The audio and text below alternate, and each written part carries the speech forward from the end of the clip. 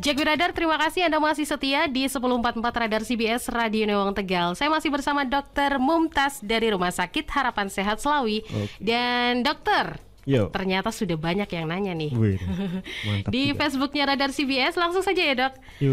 Oke, ini dari Pak Sadigio Brebes. Oh, berbes.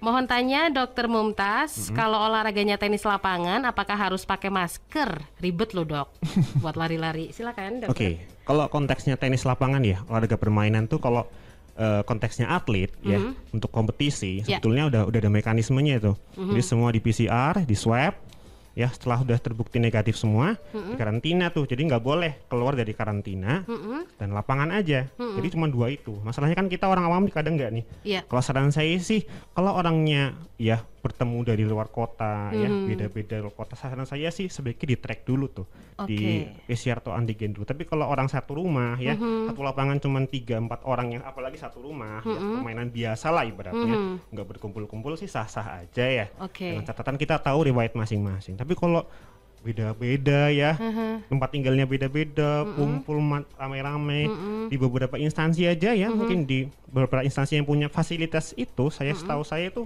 sementara nggak boleh dipakai memang karena untuk konteks non kompetisi bukan atlet susah dilakukan ya. Jadi kalau mau tenis ya sebaiknya tahu riwayat orang tersebut. Minimal kalau mau di nggak mau dites ya tahulah. Satu rumah misalkan tahu oh ini udah bersih kok nggak udah dites kemarin. Sah-sah aja untuk main tenis ya. Oke. Tapi kalau pakai masker sekali, sekali lagi kalau intensitasnya tinggi ya nanti akan menghambat tuh pertukaran oksigen karena kalau kita latihan intensitas tinggi eh, lebih baik lepas masker dan latihannya mending sendiri kalau saran saya. Oke, Gitu. baik. Dokter, kita ke pertanyaan berikutnya dari Aziz Saifuddin. Ini nanya di Facebook, dokter izin nanya. Lagi ramenya goes olahraga yang banyak diminati di masa pandemi. Kalau saat goes menggunakan masker, apakah nggak mengganggu sistem pernafasan? Kan kadar oksigennya yang masuk kan kurang, dokter. Gimana dokter solusinya? Oke, tadi ya sempat bahas sedikit ya Ya. soal gowes. Tadi kalau eh, gowes boleh-boleh aja ya, cari tempat yang sepi ya.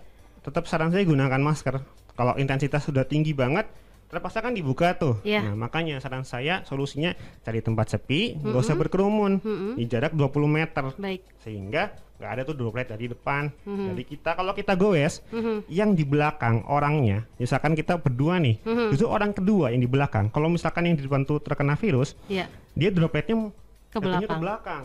Oh, Nah, gitu. Bayangin tuh kalau kita berkerumun 15 orang nggak ada yang Mhm. pakai masker, Iya. ya. Nah, jadi itu resikonya tinggi. Gimana cara ngurang-nguranginnya? Pakai masker, ya, eh, berjarak 20 meter. Kalau misalkan sangat tinggi intensitasnya, buka sesaat, jadi lebih aman. Gitu. Itu tipsnya paling Oke. mudah sih. Oke, baik itu ya. Mm-mm. Ada lagi Ibu Ima mau nanya, kan lagi diet nih, olahraga yang cocok apa dokter? Asupan yang kita makan kan berkurang. Gimana solusinya? Gampang capek soalnya. Oke. Silakan dokter. Untuk olahraga yang disarankan Heeh. yaitu sebetulnya kombinasi ya. Hmm. Olahraga itu banyak macamnya. Cuma kalau dikelompokin kita bisa kelompokin ke dua tiga. Hmm. Ada latihan beban, latihan kardiovaskular dan latihan flexibility atau kekelenturan dan ketangkasan. Hmm.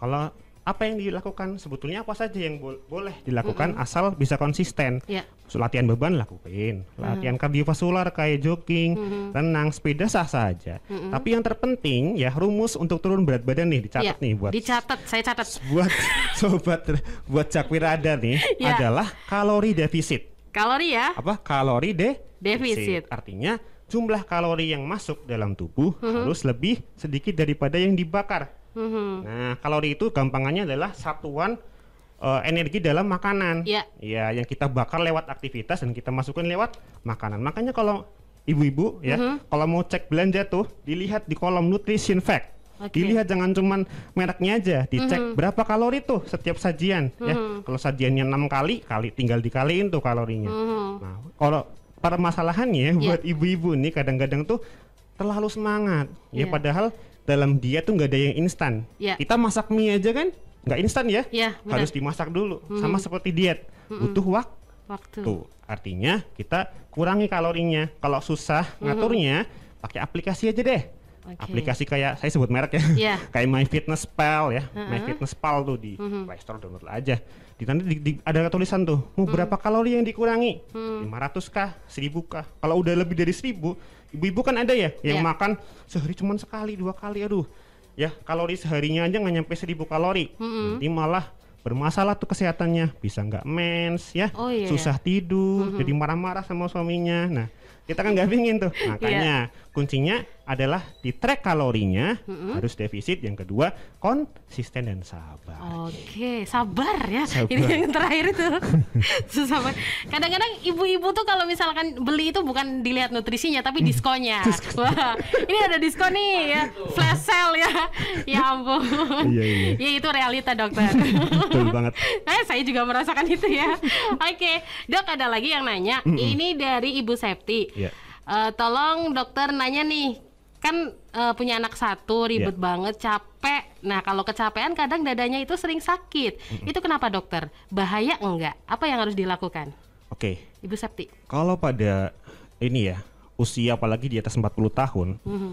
Kalau ada nyeri dada ya sesederhana nyeri dada itu tidak bisa dianggap remeh. Haha. Apalagi nyeri dadanya udah cukup lama, Mhm. durasinya juga lama nih. Mhm. Nah pertanyaannya berapa lama tuh dirasain? Iya. Kalau dalam kondisi istirahat aja, ini Bu siapa tadi namanya? Ibu Septi. Bu Septi. Kalau Ibu Septi ini ya yang bukan 40 tahun, yang 40 tahun Ibu Tuti. Oh, Ibu Septi masih ini muda ya? masih muda. Oke. Ya di bawah 30. Ya, yang pertama kita harus aware. Mhm. Berapa lama tuh nyeri dadanya?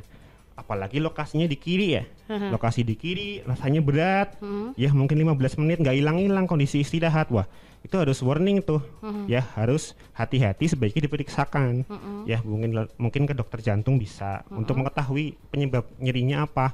Kadang-kadang ada nih yang lebay soalnya Ya. ya merasa so nyeri dulu sekali, sakit sekali. Tapi pas saat saya periksa ternyata hanya masalah lambung aja. Ya, makanya dicek dulu dipastikan Ya. Kalau memang nyeri dadanya dalam kondisi istirahat aja lama terasa, rasanya berat, apalagi usia tadi ya kalau mungkin di atas 40 hati-hati. Ya, tapi kalau Bu Septi mungkin masih muda, mungkin diatur dulu ya. Iya. Mungkin di di re- review dulu saya makannya udah bagus belum, saya cukup tidur apa tidak. Kalau ibu udah melakukan gaya hidup yang sehat, tapi kok masih sakit, apalagi kondisi istirahat, diperiksain aja deh, bisa ke dokter jantung mungkin atau penyakit dalam bisa. Oke, Gitu. baik. Yang penting ke rumah sakit, harapan sehat selalu. Itu paling penting lagi. baik, ada lagi yang nanya. Ini Ibu Tuti, usianya ya termasuk orang dewasa ya. Eh, mau di- mau langsing lagi kayak dulu. Hmm. Sekarang udah gendut ya. Oke. Eh, tapi kalau misalkan mau diet, giliran diet, eh asam lambungnya naik. Gimana ini dokter? Nah, ini problemnya ya. Problemnya ibu-ibu yang merasakan asam lambung naik itu. Kalau saya pengalaman dari beberapa klien juga ya, pasien Mhm. saya itu kalori yang masuk dari makanan kadang-kadang terlalu sedikit. Ya, jadi Mhm. bukan masalah hanya masalah kalau makan masalahnya biasanya jadwal makan ya, cara Mhm. makannya tergesa-gesa atau jenis makanannya pedes-pedes, asem-asem. Nah, tapi kalau yang saya lihat pada perempuan khususnya Mhm. itu terlalu sedikit kalori yang masuk. Harusnya misalkan nih butuhnya 2000 Mm-mm. untuk membuat bakar lemak Ya. cukup kurang 500 itu udah bagus tuh. Oh gitu. Nah, jangan sampai kita makan sehari cuma 500 kalori, cuman sekali makan, belum, udah saya nggak mau makan nih. 6 20 jam berikutnya saya nggak akan makan Oh gitu. karena semangat ya. Tadi apa Bu Tuti ya? Heeh. Bu Tuti kan katanya udah usia 40 tahun, pengen lasting terus apa tadi? Pengen langsing giliran diet asam lambung naik Nah gitu. iya, coba dihitung lagi kalorinya. Bisa pakai aplikasi. Bu Tuti tinggal modal ini aja nih, satu timbangan makanan yang gram-gram itu gampang ya. Kedua timbangan kita Berat badan. dan sama yang ketiga lingkar perut. Oh gitu. Nah, jadi salah satu cara untuk menilai kita itu fat loss apa tidak, bakar lemak apa tidak, nggak cuma berat badan, Iya. tapi adalah lingkar Lingkar perut. Caranya, ibu kalau punya meteran jahit, Heeh. tinggal berdiri tuh, ya, jangan Iya. duduk ya, Iya. berdiri, diukur tuh dari lingkar perutnya sampai ke belakang berapa senti. Kalau di atas 80 senti, berarti ibu termasuk kegemukan atau overweight lah kita bahasanya, belum obesitas. Tapi kalau pada pada laki-laki di atas 90 senti. Nah, jadi itu paling gampang ya ngecek tadi. Ya di, dihitung kalorinya pakai aplikasi dan timbangan gram. Itu berat badan kita Iya. ideal apa enggak ya. Terus diukur lingkar pinggangnya. Kalau berat badan udah tahu ya, Iya. namanya indeks massa tubuh bisa dicari tuh. Rumusnya berat badan dibagi tinggi badan kuadrat dalam meter. Itu Oke. aja. Iya siap. Terima kasih Yo. dokter. ini uh, banyak sekali ya informasi yang bisa kita dapatkan dan yang sudah pada nanya juga aduh saya senang banget karena Anda benar-benar ikut berpartisipasi ya meramaikan talk bareng sama Rumah Sakit Harapan Sehat Selawi. Dan sepertinya sampai di sini dokter Oke. ya untuk perjumpaan bersama kita obrolan-obrolan siang ini. Ada tambahan barangkali closing statement dari dokter atau teman-teman dari Rumah Sakit Harapan Sehat Selawi? Silakan.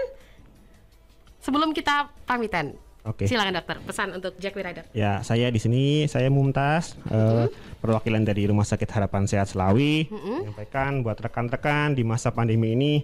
Dan sampai kita mungkin yang sudah mulai bosan ya, udah mulai lelah Iya. ya menghadapi masa pandemi harus tetap kuat, tetap sabar apalagi kita sudah masuk era vaksin ya.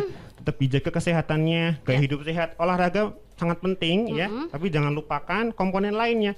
Olahraga bagus, istirahatnya teratur, Ya. jaga jangan sampai stres, makannya dijaga ya. Yang terpenting kita semangat Ya. menjalani hidup sehingga bisa sehat selalu. Dan Kami dari Rumah Sakit Harapan Sehat Selawi me- apa ya?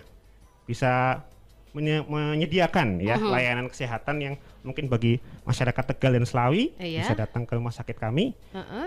bisa hubungi silakan di Nol- sini Oke. di 0811 269 269 6936. Di Oke situ sekali lagi dokter 0811 269 Heeh. 6936. Oke. Ya, ada IG-nya juga tuh rshs. Selawi Rumah Sakit Harapan Sehat Selawi di Facebook juga ada. Jadi Oke. kita rawat jalan sudah bisa nih diakses via aplikasi. Wih, luar biasa keren ini dok. Bisa diakses via aplikasi ya. Oke, thank you banget dokter atas kehadirannya. Next, Sama-sama. insya Allah semoga bisa berjumpa lagi ya Mas Yofi ya sama lagi. Mas Heri dan Mas Den. Oke, oke, Dokter Mumtaz juga sehat terus, pokoknya tetap Amin, semangat. amin, amin, amin. Untuk anda Jakwi Radar yang pingin nanya-nanya gitu ya, atau kepingin memeriksakan diri anda, silakan cek kesehatan anda secara menyeluruh boleh langsung datang ke Rumah Sakit Harapan Sehat Selawi. Di sini alamatnya di Jalan Gatot Subroto Selawi, Tegal ya. Silakan datang aja langsung ke Jalan Subroto Gat- Jalan Gatot Subroto Selawi Tegal. Nomor telepon di sini juga ada 0283 456 3611 atau bisa langsung 0811 2696 936. Itu saja pesan dari saya ya. Dan dokter, pamitan dokter. Assalamualaikum warahmatullahi wabarakatuh. Oke, waalaikumsalam Ada warahmatullahi wabarakatuh. Jago radar. Oke, baik.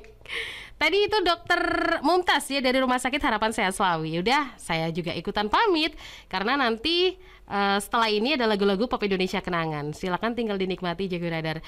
Oke, yang pertanyaannya belum dijawab, next ya. Insya Allah nanti kita ada waktu talk show bareng Rumah Sakit Harapan Sehat Selawi lagi. Baiklah, terima kasih sampai di sini saja. Semoga kebersamaan kita ini bermanfaat. Terima kasih, sukses selalu.